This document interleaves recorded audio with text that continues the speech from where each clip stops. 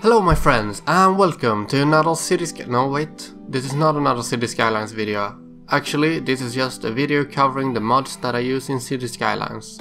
Lately I've had some major technical difficulties with my computer, but now I'm back and in order to solve the issues that I had, I had to remove every mod and all other custom content that I was subscribed to on City Skylines.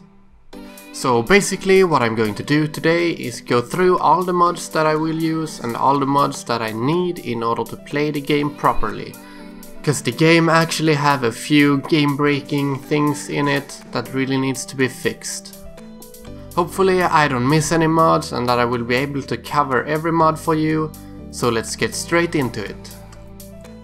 Alright my friends, so what you can do now is just launch your City Skylines and follow along in the video to have a look at all the mods that I did use to have. Links will be in the description, so don't worry about that.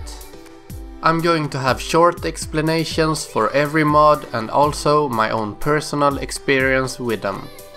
For example, if they are a must-have mod or if they are just one of those mods that makes your life a tad bit easier. So up first we have a map, this is my favorite map of all time. This is Flatlands and this is the map that I have used for a lot of my testing. Now finally I have made my own test map, but earlier this was the one I used. So if you want you can subscribe to Flatlands or you can just stay tuned a bit and I will release my own test map very soon. So that pretty much covers the one map that I use and now we're going straight over to the mod section and we're going to go through the top pages because this is where you will find most of the useful mods that I use. First in the list we have the Automatic Bulldoze mod. This mod automatically removes buildings that you do not want in your city to improve the recovery time of your city and decrease the amount of micromanagement that you have to put into your game. So right now I have a example running in the background showcasing the mod where one of my buildings burned to the ground. And in a short period of time the Automatic Bulldoze mod finds the building and removes it in order for a new and healthy one to grow. This basically makes your entire city a whole lot more efficient. This is a must have mod and I pretty much wouldn't play the game without it. Next up is the all 25 areas purchasable mod. It is very self-explanatory and all it does is remove the limit of the amounts of areas that you can purchase and move the limit up to 25. This is not a must-have mod, but it is pretty convenient and makes for a more interesting city. Also, it lets you build in a wider range on every map. For example, in some maps you will not be able to build close to the sea while also building in the mountains. But with this mod, now you can. There's nothing to lose, just do it. Our third most popular mod in the community is Precision Engineering. What it does is increase and perfect the accuracy of your building while laying down roads and railroads. So what it does is provide you with the information of the angle that you're placing the current road compared to the angle of the road that you're connecting it to. It also has some neat snapping options by holding down the different keys. I can't remember exactly, but the key bindings are something like Ctrl Shift and Alt in order to reach the different features. This is not a must-have mod, but I truly recommend it and you should run with it in order to build the most beautiful, precise and symmetrical city. Next up is our tree brush mod. It gives you the tool to paint out trees by using the minus and plus symbol on your keyboard to increase slash decrease the size of the brush. This comes in handy if you want to remove big forests by right clicking or if you want to grow big forests in an instant by left clicking. I use this mod a lot in my forest fire videos, so if you're curious feel free to check them out so that you can see exactly what the mod is able to do. Other than that, this mod has one limitation that I don't like and that is the fact that sometimes it has problem reaching small areas with trees since the density of the trees are a bit low at times. Perfect for forest though, so I do recommend this mod. Next up is the toggle traffic lights mod. It basically does what the title says, it lets you toggle the traffic lights on every intersection that the game makes with roads.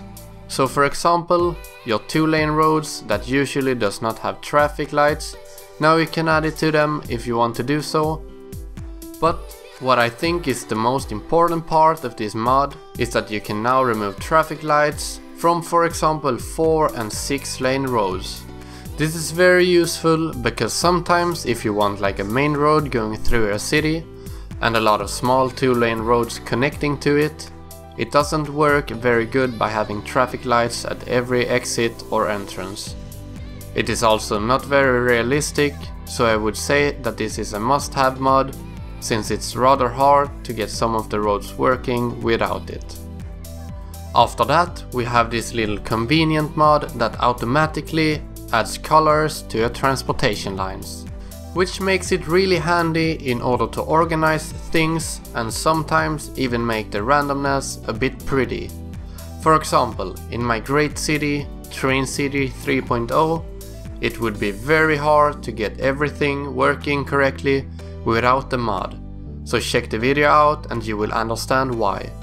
This is just a must-have mod for me, there are no bad sides to it, so I would say just get it for the nice colors. This mod basically lets you connect railroads at sharper angles to make the traffic flow a bit better with higher speeds at intersections and a bit more realistic looking connections. This is not a must-have mod, but you should definitely have a look at it. So, right here we have one of my favorite mods. It provides you with a nice little panel that gives you extra information about the state of your buildings. It is very useful for when you want to upgrade your buildings to their maximum level. Because then you can just have a look on what services they are missing exactly. There is one downside to this mod that I have experienced though, and that is that sometimes the UI, the elements and the text overlap, which makes the information unreadable, but it's still a very useful and viable mod since you could figure out most of the information by yourself by looking at the different bars underneath the text. I do recommend this mod, especially if you are new to the game.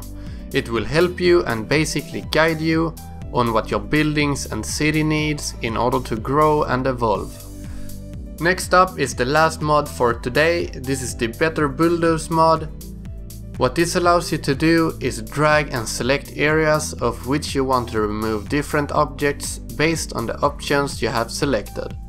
For example, you can choose to remove just trees or props or other things. The part that I find the most useful about this mod is the tool to re remove networks. What networks stand for is basically everything in the game that transports some kind of resource. For example, water pipes, roads, railroads, which makes this mod excellent at removing for example square plots, if you for some reason were to plot them in the wrong place. Now with this mod it is an easy fix. This is basically a must have if you don't want to spend the time removing every road by hand. The only downside to this mod is if you click in the options to remove networks and you start removing roads, it will also remove the water pipes underneath. Even if that is not what you always want to do. Other than that, I would say that this mod is a must-have in order to not waste time that could be spent on more important things. I hope this video gave you some insight in the mods that I use in most of my videos and my projects in City Skylines. Feel free to leave a like or a comment on any mods that you recommend me to use. As always, have a nice day and I will see you in my next video.